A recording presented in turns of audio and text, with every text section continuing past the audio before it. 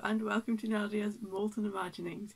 Today I am going to be trying out something I have wanted to try for a very long time and this is paint pouring. This is a very very cheap kit I got and I wanted to try to make a pour and then go over the top of it with encaustic wax and recently I actually went to a local exhibition which was the first time I have ever seen a paint pour in real life, and it was amazing.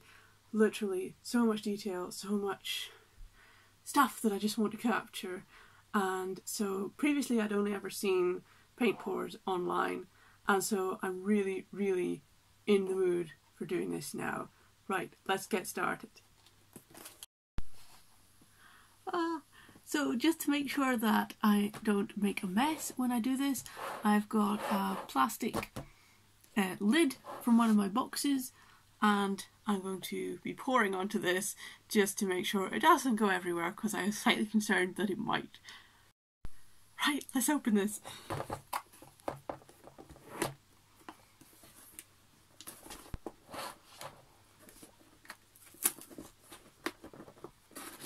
You've got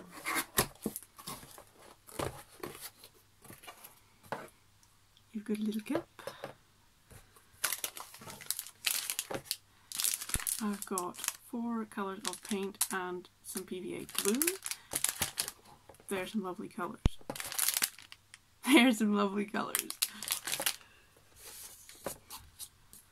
An instruction manual. And a piece of canvas board.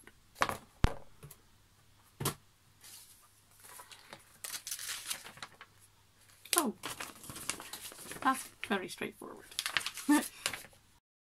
so I've got all my paints, I've got my PVA glue to mix, and I've got some little mixing sticks, and these little fine ones for, I think, like teasing the paint whilst it's liquid. That'll be fun.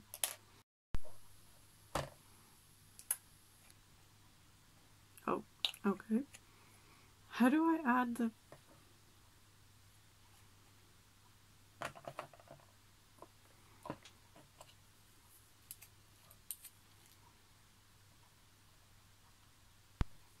Oh, this is loose. What the hell?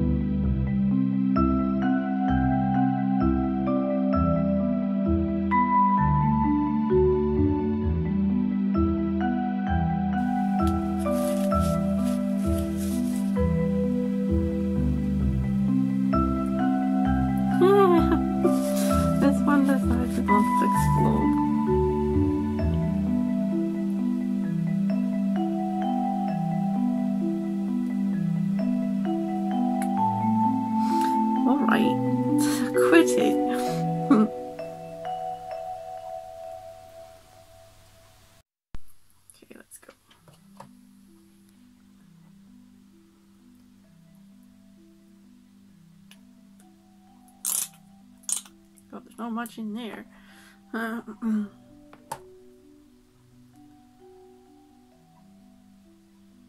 Ooh. Ooh. Look at that. Oh, from darkest to lightest. Oh.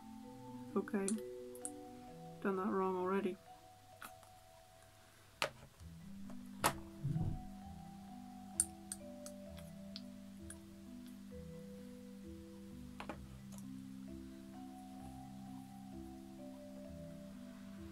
Canvas face down on top of the mixing cup. Make sure the cup is in the centre of the canvas.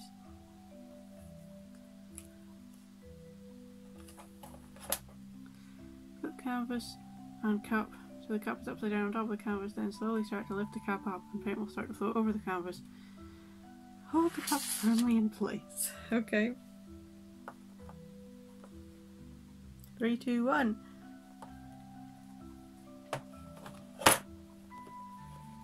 Oh wow, something's happening. Hmm. Now I need to change the camera angle, it's not going to look good at all.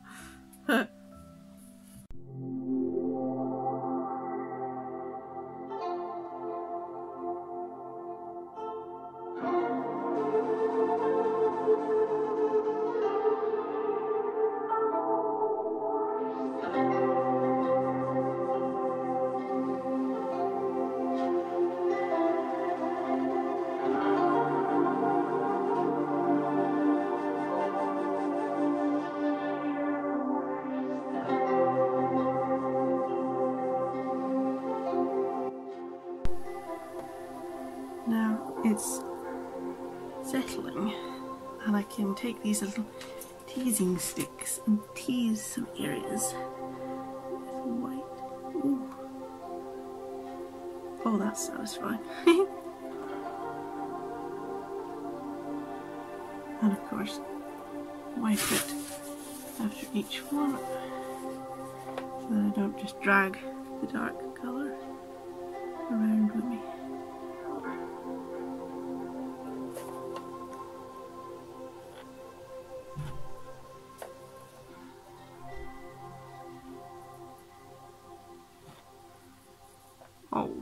Is satisfying.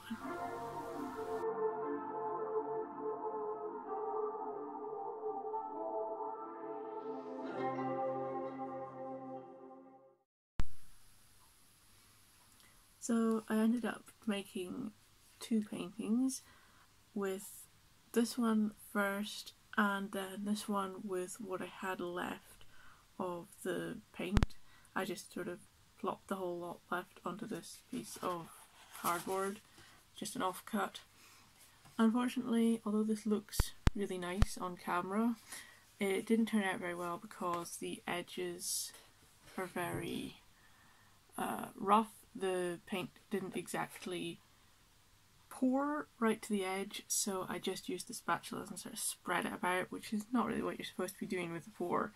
I did have to do that slightly on this one as well, but it doesn't matter so much because this is a smaller one and I'm going to be working into it with the encaustic. So I'm thinking what I'm going to do is take my iron and maybe dab some wax around the edges and then with the stylus I'm just going to work into it with some detail and then for this one I'm just going to cut it down to maybe like the centre and uh, maybe work into that a little bit as well. We shall see.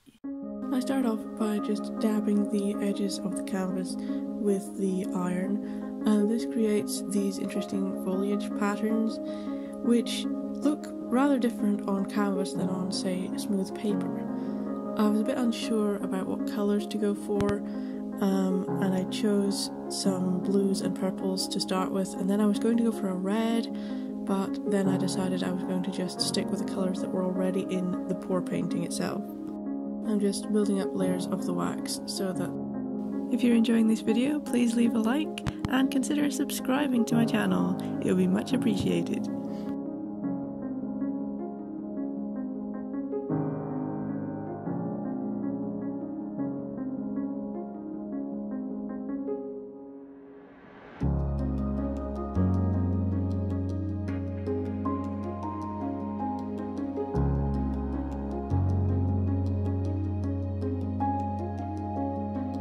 Just going in with the stylus and I'm pulling out certain features that I can see um, very much in the way that I was doing the intuitive painting in my last video. I'm just looking at the shapes and seeing what I see and drawing around them or near them. There are lots of swirling clouds and I'm just following these lines, making them into um, spindly trees and I've got this weird crocodile dragon down at the bottom. Uh,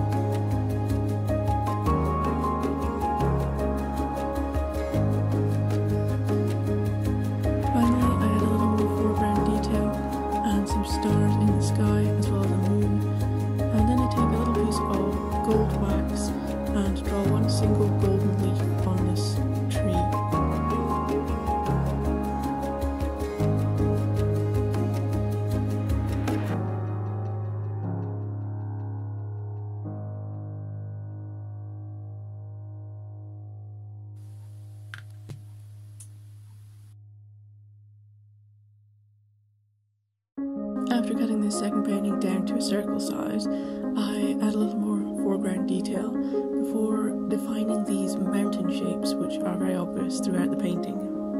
I'm using mainly just the purple and the violet wax, blending them together as I work to make a nice smoky atmosphere which the mountains are rising out of.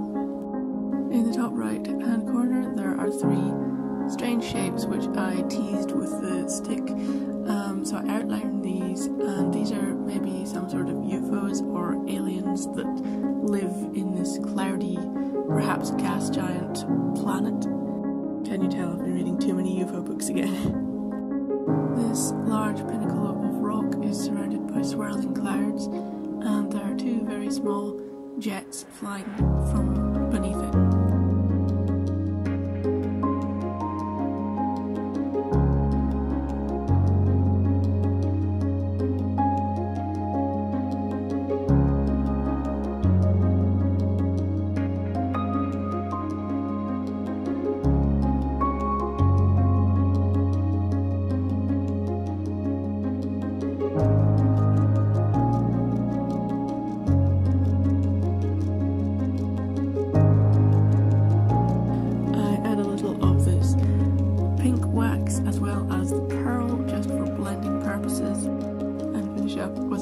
Well,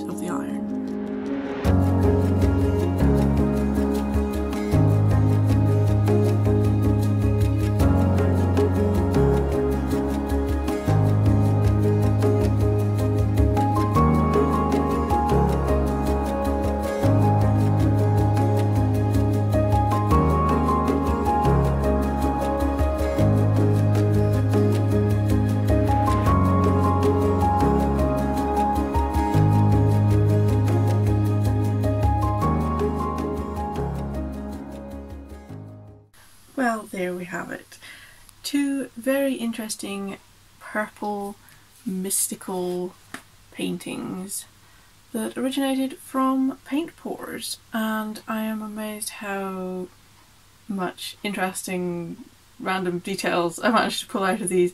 I could have just left them abstract but I'm quite glad now that I didn't. Um, please let me know what you think down in the comments and thank you very much for watching.